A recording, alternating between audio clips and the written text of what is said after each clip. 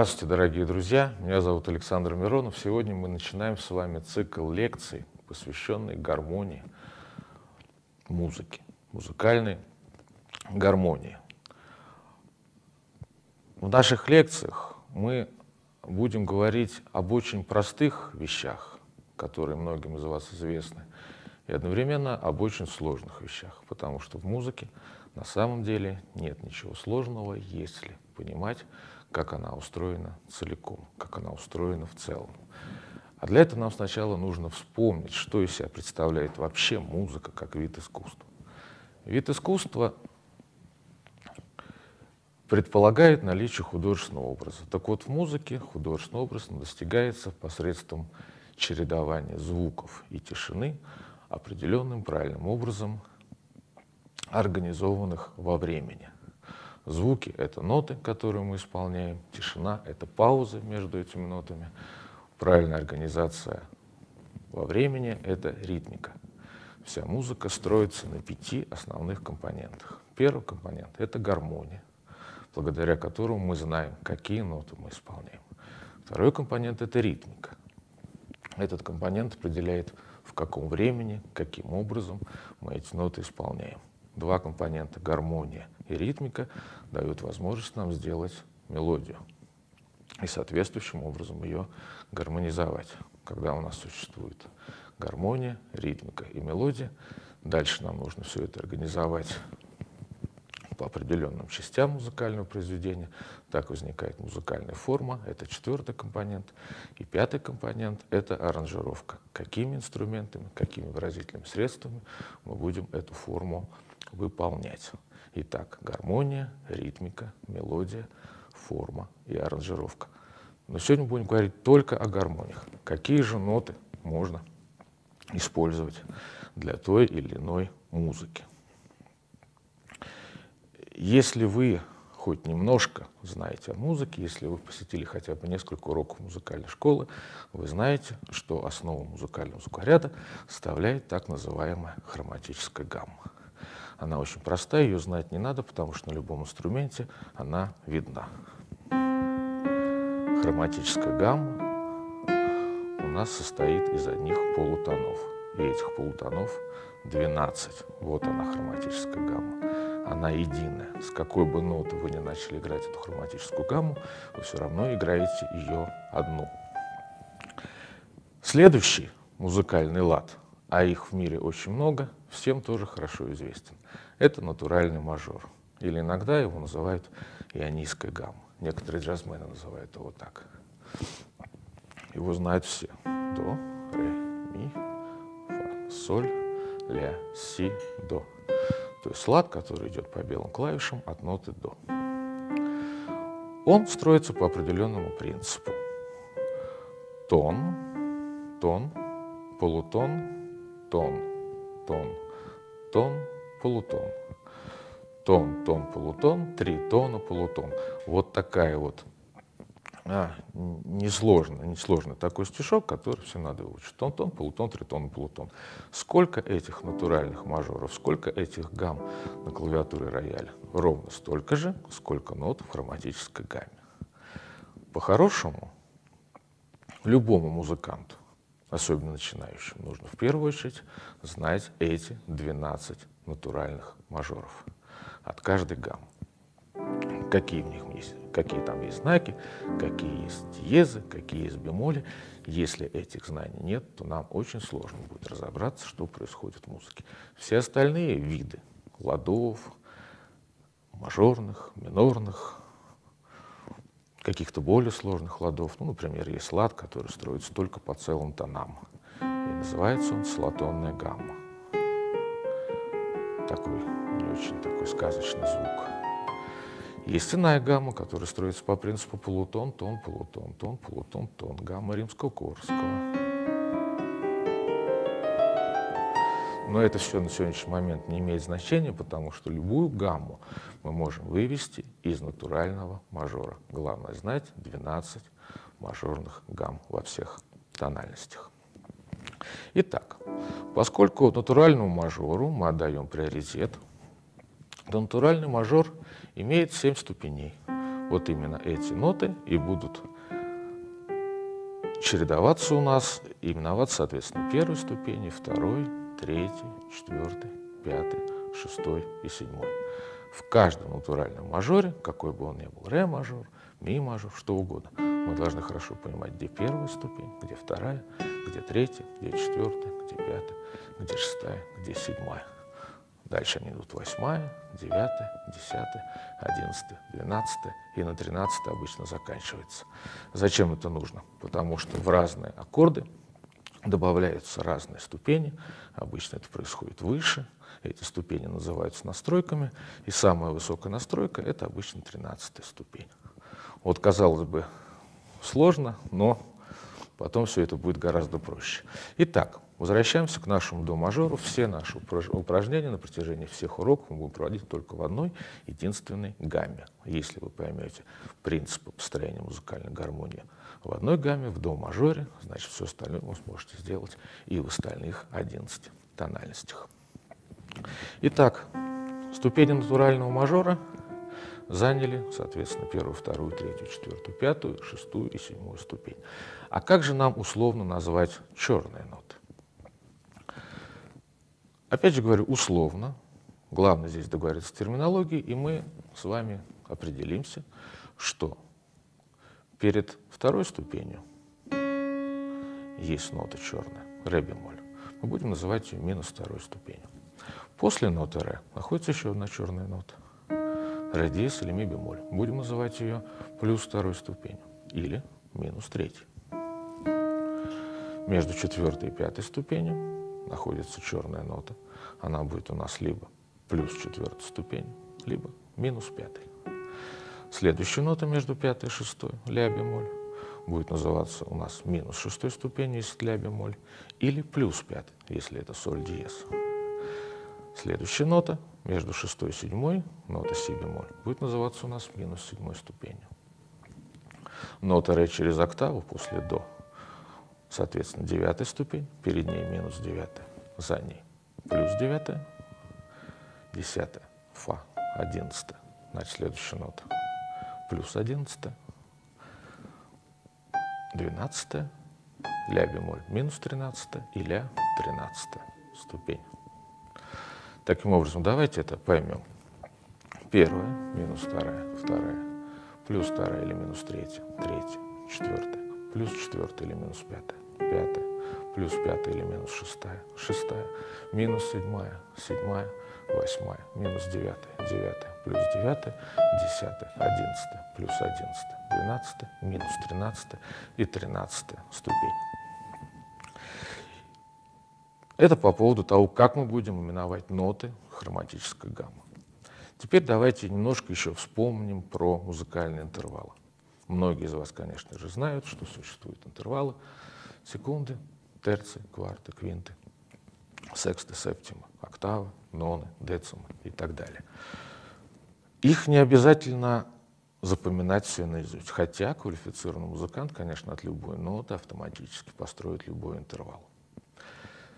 Не построит, он их знает наизусть от любой ноты, но мы всегда сможем с вами построить эти интервалы, зная принцип их построения. И эти интервалы в некотором смысле во многом симметричны. Сейчас я скажу вам принцип для того, чтобы вы понимали. Существует две секунды. Секунда малая и секунда большая. Соответственно, секунда малая — это минус вторая ступень, секунда большая — это вторая ступень. У этого интервала есть два симметричных интервала. Есть две секунды, малая и большая, и есть две септима, малая и большая. Их можно построить не так, как мы это делаем в академической школе, отсчитывая, соответственно, 5 и 5,5 тонов вверх, а можно построить их от октавы вниз. Предположим, мы берем октаву, опускаемся на полтона, получаем большую септиму, опускаемся на тон, получаем малую септиму. Итак, у нас есть два, две группы симметричных интервалов.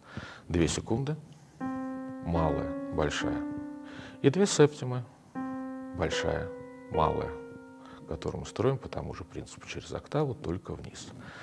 Следующие две группы симметричных интервалов — это две терции, малая и большая, минус третья и третья ступень, и две сексты, малая и большая.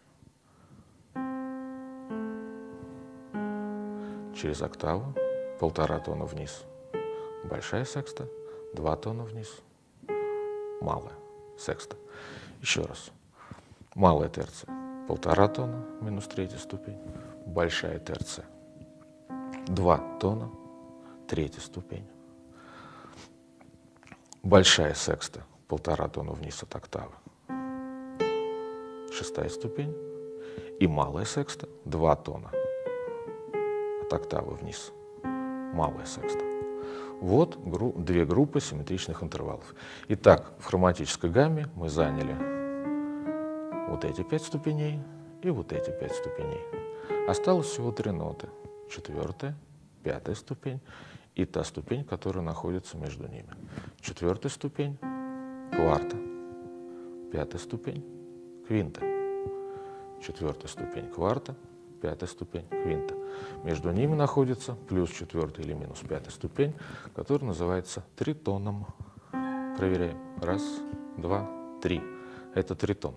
Тритона нужно знать, потому что на базе тритона строится очень много видов джазовой музыки. Так вот, если секунды, терции, сексты и септимы мы можем всегда построить от любой ноты, это несложно, то, к сожалению, кварты квинты нужно знать наизусть. Кварты и квинты очень хорошо описаны в одной из самых идеальных систем человеческого мысли – который называется квартоквинтовый круг. В квартоквинтовом круге ноты двигаются таким образом, что если мы движемся по часовой стрелке, мы видим квинты, до, соль, ре, ля, ми, си. Если мы двигаемся против часовой э, стрелки, то мы видим кварты. До, фа, си бемоль. В результате они сходятся в одной ноте. И это нота фа диез, либо соль бемоль. Итак, это немножко теории. Мы разобрались с вами с терминологией, как мы будем обозначать ступени. Вам может показаться, что это все очень сложно. Я согласен. Это все очень сложно, поэтому в каждом уроке таким или иным образом я буду все это повторять. Но сегодня я хочу вам рассказать принцип, которому мы должны в результате наших уроков прийти. А, всем вам известно, что в музыке существует такое понятие гармонические функции. И вы их, конечно, знаете. Существуют тоники, субдоминанты и доминанты. На втором нашем занятии я отдельно буду говорить о тониках, субдоминантах и доминантах, как о принципе построения музыкальной гармонии. А сегодня я вам расскажу только про тонику. Только про тонику, про основную функцию и вообще, что с ней можно делать и как к ней относятся музыканты джазовые музыканты, музыканты импровизирующие или те музыканты, которые понимают музыку не только потому, что написано в нотах, а понимают музыку, как она устроена. Даже если вы совсем далеки от музыки, вы эту тонику всегда услышите. Любая оперная постановка, любая опера раньше заканчивалась вот таким общим гармоническим блоком. Это доминанта, и вот мы разрешаемся в тонику. Вот эта тоника — это основной гармонический прием, основная гармоническая функция, которая строится на первой ступени нашей основной гаммы. В данном случае это до мажор. Для того, чтобы эту функцию гармоническую, а, для того, чтобы ее обозначить, нам достаточно взять всего две ступени. Две ступени нашей мажорной гаммы, первую и третью. И эта функция будет уже обозначена. Я не знаю, и никто не знает, почему законы музыкальных созвучий устроены именно таким образом, какие там есть закономерности созвучия разных частот. Наша задача человеческая только понимать эти созвучия, придумывать им какие-то для нас понятные логические объяснения, но ни в коем случае не копаться в природе, почему это эстетично, почему это красиво и почему это выглядит именно так. Но в традиционной академической гармонии функция выражается мажорным трезвучием. На первой, третьей, пятой ступени строится трезвучие, которое и выражает основную функцию, функцию тоническую. В джазовой музыке Функцию тоническую можно выразить большим мажорным септаккордом, добавив к трезвучию еще одну большую септиму. Называется этот аккорд большой мажорный. Мажорный, потому что в основе мажорное трезвучие, большой, потому что к нему добавляется большая септима. Итак, вот так может быть выражена тоническая функция. Из семи нот натурального мажора четыре ноты мы уже используем. Теперь я хочу сказать следующее, что мы можем также использовать вторую ступень, девятую, для выражения этой функции, либо шестую ступень или тринадцатую для выражения этой функции. Любые комбинации из этих шести нот очень хорошо смогут выразить мажорную тонику. Я говорю мажорную тонику, потому что есть минорная тоника, и мы об этом будем говорить отдельно. Теперь я вам приведу пример. Итак, я попробую сыграть все возможные виды аккордов. Вот обычное трезвучие. Теперь я сыграю это трезвучие со второй ступенью. И это тоже будет тоника. Дальше вместо пятой я возьму шестую ступень. Или оставлю пятую вместе. Потом я возьму большой мажорный септаккорд. Потом я уберу третью ступень с первой. Я оставлю только вторую. И таким аккордом тоже можно выразить тонику. Потом я беру седьмую ступень, добавлю восьмую. Потом я оставлю только третью, шестую, девятую. Будет аккорд 6-9. Но это тоже будет выражением тоники. Потом могу сказать третью, пятую, седьмую, девятую. И это тоже будет тоника. И дальше, дальше, дальше, дальше. Вот это все тоника. То есть шесть ступеней из седьми натурального мажора, кроме четвертой, запомните, я могу использовать для того, чтобы разнообразить аккорд, разнообразить гармонию. Если вы слышите вот такую музыку,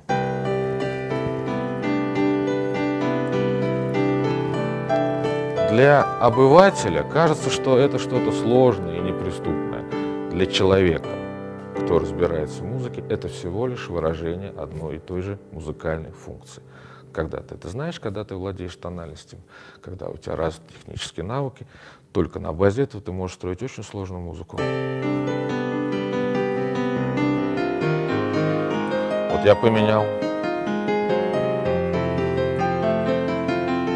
это я играю одни тоники от разных ступеней.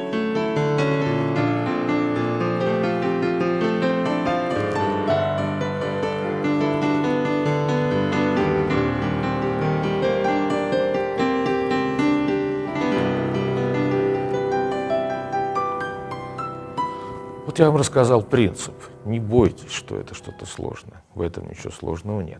Я обыгрывал каждый аккорд в совсем, совершенно хаотичном порядке использую шесть ступеней из натурального мажора той иной гаммы.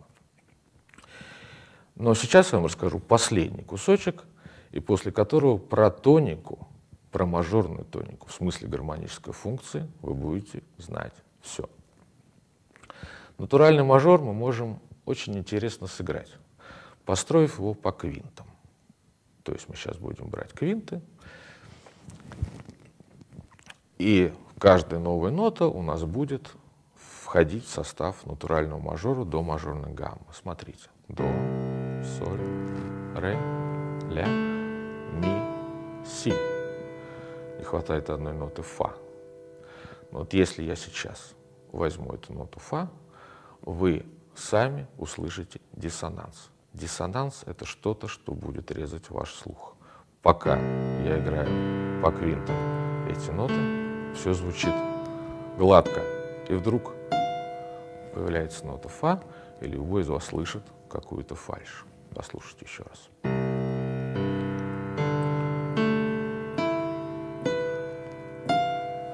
Эта фальш возникла потому, потому что между си и фа на самом деле квинты нет. Есть тритон. Вот этот тритон — диссонирующий интервал. Диссонирующий, который не является благозвучным интервалом и вносит этот диссонанс. Если бы я продолжил движение по квинтам, то я бы сыграл ноту не фа, а ноту фа диез. Таким образом, благозвучие бы сохранилось. И так внутри белой гаммы вдруг возникает одна нота. меняется лад. Лад с плюс четвертой ступени. Первая, вторая, третья, четвертая, плюс четвертая, пятая, шестая и седьмая. Вот этот лад называется лидийским. Он отличается натуральным мажором только одним. Ступень не четвертая, а плюс четвертая. Так вот, этот лад является законченным, абсолютно идеальным, совершенным ладом.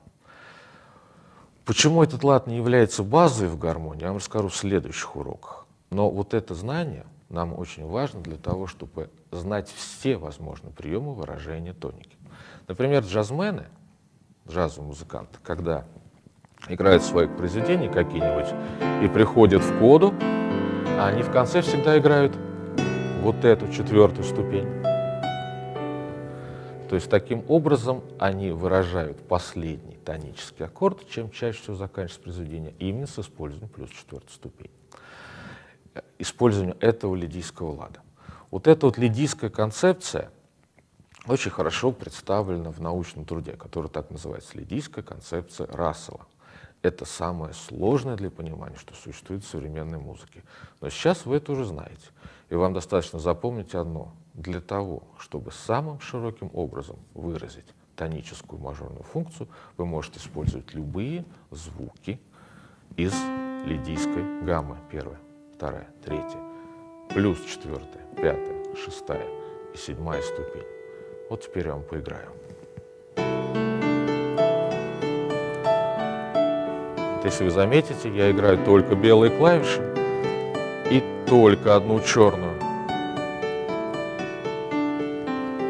Как это используется, я вам сейчас покажу. В поп-музыке, например, есть такая песня у Элтона Джона.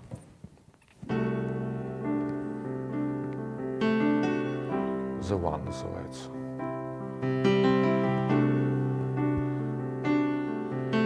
Очень красивая такая музыка. На основе вот этих вот двух аккордов построена мелодия.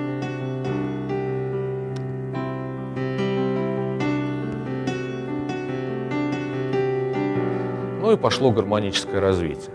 Так вот, вначале звучит два аккорда. Ре мажор в правой руке, в басу до. Потом он разрешается в обычное мажорное трезвучие. То есть кажется, что это два разных аккорда.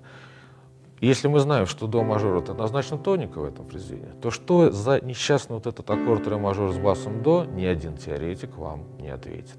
А я вам отвечу. Это одна и та же функция мажорная, которая просто выражена разными аккордами с использованием ступеней лидийской гаммы. Вот для чего нам нужны такие знания. Или переведу вам еще другой пример. Уже не из поп-музыки, а из рок-музыки. Есть такая пьеса группы Procol Harum, которая называется «Salty Dog». Очень красивое произведение. Пьеса начинается вот с такого хитрого, непонятного аккорда. Басу нота до, значит, это какой-то до мажорный аккорд. И действительно, в состав этого аккорда входит седьмая ступень, входит третья, обозначающая то, что это мажорный аккорд, и входит вот это вот плюс четвертая лидийская ступень.